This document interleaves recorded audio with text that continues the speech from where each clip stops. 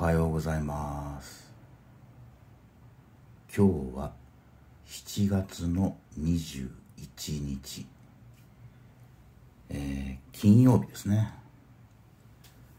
朝の7時40分です。あのー、今撮影してるのは21日の金曜日なんですが、えー、公開はですねいつも通り22日の朝ね、えー、するつもりです。で今日はですねピュアゴールドの珍しいカセットシングルです。であのー、カセットシングルなんですがえー、これ A 面がですねピュアゴールドと I love you OK 1990年バージョン。でこれサイド1です。でサイド2もですね同じ曲が2曲入ってるんですよ。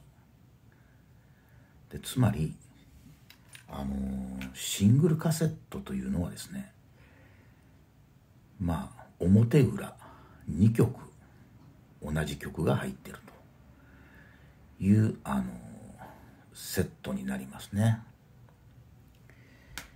えー、でですねこのピュアゴールドなんですが、えー、1990年発売のアルバム「英吉」ですね。で矢沢永吉はですねこのアルバム矢沢らしい矢沢らしいメロディーライン。まさに英吉節だと言ってます。ですからアルバムタイトルももう英吉でいこうと。いうふうにねしたと語っております。であのアルバム「英吉」はですね1990年7月31日発売。このシングルカットされたピュアゴールドオリコン1位を取っております。えー、矢沢永吉がライブで感極まって歌えなくなる曲っていうのがですね今まで2曲あったんですけどそのうちの1曲が「I love you OK」でありもう1曲がこの「ピュアゴールド」ですよ。I love you OK は横浜の日産スタジアムだったかな。お前だけを頼りに生きてきたっっていう部分で感極まって歌えなくなってバックバンドの演奏がこうね続いていくっていう。まあ例の35億円の詐欺事件ですか。借金を返し終わってまさにお前だけを頼りに生きてきた矢沢永吉自身ですね。まあそれとダブったというふうにね言ってました。でもう一つがこのピュアゴールドはねアイムバックツアーですから一昨年ですか。ホームにナイトレン財産はトランクとギターだけ。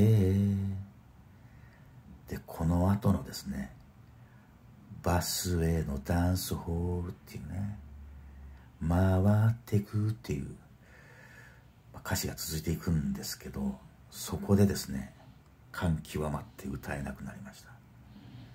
おそらくデビューする前のアマチュア時代のことを思い出したんでしょうね。財産はトランク一つとギターだけ。バスへのダンスホール待ってく。まあそこでですね感極まって歌えなくなってしまったっていうのがねありました。えー、このピュアゴールドもですねライブの定番ですね。あのー、1990年発売っていうのはね先ほど言いましたけどまさに1980年代はですね、ロサンゼルスを活動の拠点としてドゥービーブラザーズリトルフィート、えー、トトのメンバーたちとアルバム制作に励んでいた時期です。でこのアルバム「英吉」もですねアンドリュー・ゴールドプロデュースです。で参加ミュージシャンもスティーブ・ルカサ、え、マーク・ジョーダンと。ねあのロサンゼルスメンバーの面々なんですが、まあ、そういう80年代の経験したことを自分のものにして一枚のアルバムに詰め込んだのが英吉。そして、えー、そのシングルカット曲「ピュアゴールド」ですね。えー、歌詞カードがですね、まあ、こういう形でねあの入ってるんですがこの裏面ですね金色に輝いてますが、ね、先ほどちらっと下手くそな歌をお聞かせしましたが「ホームにナイトレン財産はトランクとギターだけバスへのダンスホール渡ってく幻のロックスター」っていうね。えー、まさに A ちゃんのアマチュア時代。もう「ILOVEYOUOK」はね。言わずもがな。振り返れば長く辛い道もお前だけを支えに歩いたと。ありますね、まあ、いい歌詞ですよ。ピュアゴールドは売野正夫です。えー、上智大学出身。日本テレビのディレクターの就職試験を落ちてその後大手広告代理店のコピーライターとして活躍するんですが全国版の広告の構成をミスってですねクビになります。そして作詞家に転身という。おそらく広告代理店クビにならなかったらですねそのままコピーライターとして一生終えたんじゃないでしょうか。で売野正夫はですね代表曲には中森明菜少女 A ですよ。からチェッカーズ涙のリクエスト。数々の大ヒット曲を手がけています。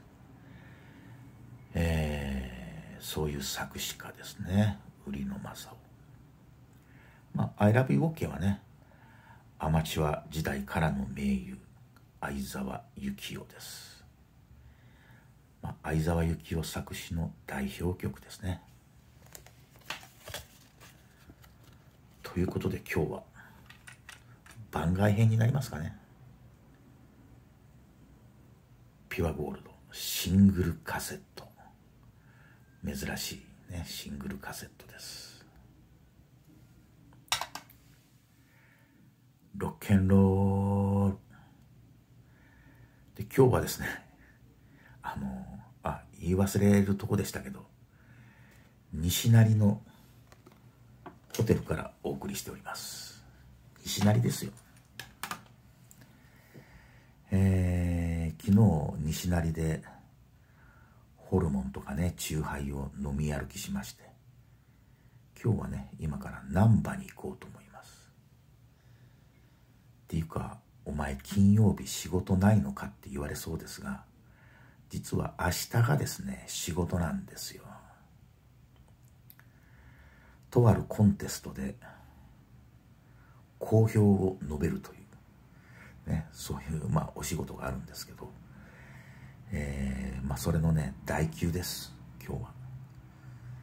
明日ステージに立ってどんな好評を言おうかなっていうのをねちょっとまあね、えー、リードの部分だけでもね今日考えとかなきゃいけないんですがナンバーをブラブラしながら考えたいと思います。ということで皆さん楽しい週末をお過ごしください。それではまた来週。